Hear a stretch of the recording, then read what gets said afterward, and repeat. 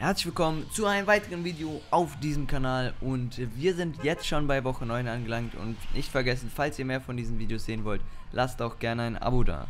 So, wir sind bei Woche 9 angelangt, diesmal Folge der Schatzkarte von Mosti Meier. Man sieht drei Ecken bzw. ein Haus mit Bäumen, die wohin zeigen.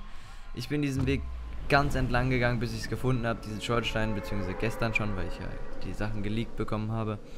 Und deswegen bin ich zu diesem Schornsteinhaus und äh, ja, diesmal bin ich direkt hingeflogen dann. Und da war es dann auch schon. Eigentlich ziemlich easy wie diesmal wieder. Ich hoffe, es hat euch gefallen ciao, bis zum nächsten Mal.